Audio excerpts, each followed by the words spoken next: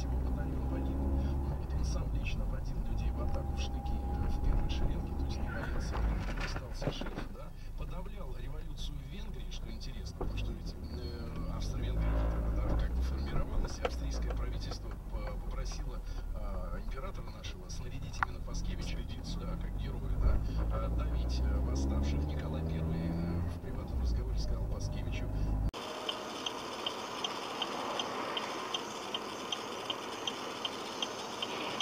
Опа!